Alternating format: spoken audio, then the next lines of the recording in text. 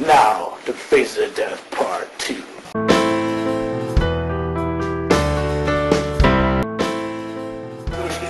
Sid is playing with his household cat, but what Sid does not realize is that like yard work, cats can be dangerous. God dang!